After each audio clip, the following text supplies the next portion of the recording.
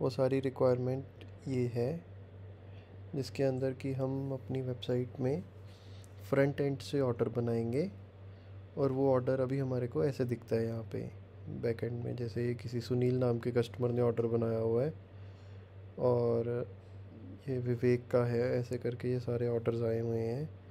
अब इस वालों के साथ क्या प्रॉब्लम आती है हमारे को? जैसे हम अभी कोई भी एक ऑर्डर अगर खोल लेते हैं एक मिनट में दिखाता हूँ आपको। ये तो एक पीस का ही ऑर्डर है, कोई ज़्यादा पीस का ऑर्डर होगा। अब जैसे ये वाला ऑर्डर है, इसके अंदर ये एक एक एक एक एक करके काफ़ी सारे पीसेज हैं। तो हम इसको खोल लेते हैं। एक तो ये हमारी वेबसाइट पे ऑर्डर्स नहीं है बेसिकली ये रिक्वेस्ट का कोट है। ये हमने जो वेबसाइट पे प्राइसेस डाली हुई हैं तो कस्टमर उनसे जब ऑर्डर बनाता है तो उसका ऑर्डर नहीं प्लेस होता। ये हमारे पास एक कोटेशन आ जाती है। अब हम चाहते हैं कि हम इसमें रेट्स को चेंज कर सकें, ताकि हम कस्टमर को रेट्स भेज सकें कि आपको इस इस क्वांटिटी के साथ इतने का पड़ेगा। तो अभी ये वाला जो सा सीन है, इसके अंदर हम लोग कुछ ही एडिटिंग कर पाते हैं। हम चाहते हैं कि हम इसमें प्रोडक्ट का नाम जो सा यहाँ पे ये प्रोडक्ट का नाम लिखा हुआ है, ये तो इसने वेबसाइट से उठा लिया है। हम इसको भी एडिट कर सकें। और अगर ये किसी एक्सेल टाइप फॉर्मेट में होगा, जहाँ पे हम इसके नाम के आगे अगर हम कुछ एडिशनल डिटेल्स डालना चाहें तो वो डाल सकें। पहला पॉइंट तो ये लिखा हुआ है। दूसरा है रेट जो कि इसने अभी तो वेबसाइट से उठा लिया है। हम चाहते हैं कि हम ये रेट को भी एडिट कर सकें। ये पॉसिबिलिटी यहाँ पे हो तो रही है बट इसमें सिर्फ़ रेट को कम करने की ऑप्शन है। हम चाहते हैं कि जैसे सौ रुपये की चीज़ है कहीं कई बार वेबसाइट पे रेट्स पुराने डले रह जाते हैं। तो ये रेट को बढ़ाने की भी ऑप्शन आ जाए ये वन वन ज़ीरो करते हैं। तो ये उठाता नहीं है। और सही तरीके से भी नहीं दिखा रहा है। ये ऐसे एक एक प्रोडक्ट में बहुत टाइम लग जाएगा। अगर ये एक एक्सेल फॉर्मेट में मिल जाए हमारे को, जिसमें हम रेट थोड़ी जल्दी से चेंज कर सकें तो अच्छा रहेगा।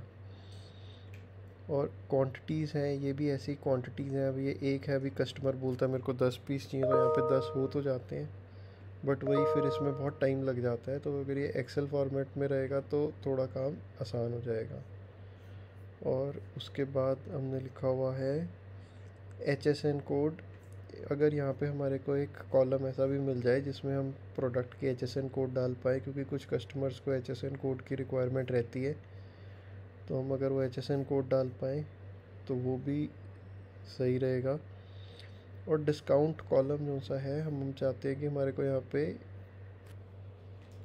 रेट के बाद डिस्काउंट का एक कॉलम मिल जाए, जिसके अंदर हम कुछ भी टेन परसेंट अगर हम डिस्काउंट देना चाहते हैं किसी चीज़ के ऊपर तो हम टेन परसेंट लिखें और वो कैलकुलेट करके उसके बाद टैक्सेस लगा दें।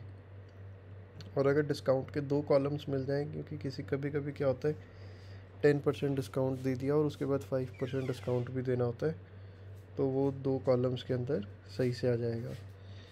और उसके बाद एक नेट प्राइस आ जाए और ये इस हिसाब से कैलकुलेशन हो जाए, जो ये ऐसे लिखा है नेट प्राइस क्वांटिटी से मल्टीप्लाई हो जाए और उसके बाद जीएसटी एक्स्ट्रा लग जाए। जीएसटी वाला फ़ील्ड अभी तो हमने टैक्सेस डाले हुए हैं तो इसने टैक्सेस उठा लिए हैं वहाँ से। पर जीएसटी की परसेंटेज अगर हम एडिट करना चाहें मतलब कभी किसी आइटम के ऊपर जीएसटी भी चेंज हो जाए तो हम बैक एंड से यहाँ से भी चेंज कर सके जीएसटी को। और एक और इशू आता है कि अगर हम एक कोई एक्स्ट्रा प्रोडक्ट ऐड करना चाहें तो इसमें अभी हम एक्स्ट्रा प्रोडक्ट तो ऐड कर पा रहे हैं ऐड प्रोडक्ट्स में जाके बट हम सिर्फ़ वही प्रोडक्ट डाल पा रहे हैं जो वेबसाइट के ऊपर डले हुए हैं। अगर हम कोई ऐसा प्रोडक्ट डालना चाहें जो वेबसाइट पर नहीं डला तो वो भी हम यहाँ पे ऐड कर सकें। उसकी क्वांटिटी रेट्स वगैरह वो सब कुछ तो एडिटेबल होगा तो वो भी हम डाल सकें। और उसके बाद नीचे की तरफ़ जैसे यहाँ पे है, हमारे को ऑप्शंस मिल जाए कि हम इस सारे फॉर्मेट को पीडीएफ फॉर्मेट में एक्सपोर्ट कर सकें, जिसमें ये सारा हमारे लेटर हेड पे आ जाए। नीचे टर्म्स एंड कंडीशंस लिखी हों, वो हम लोग डिस्कस कर सकते हैं। और हम एक्सेल में एक्सपोर्ट कर सकें इस सारे को ही, अगर हमारे को कुछ चेंजेस करने हैं तो। और बस बाकी तो और डिटेल में डिस्कस कर सकते हैं, जब अगर इतना सब कुछ पॉसिबल हो जाएगा तो मोटा मोटा काम बन जाएगा।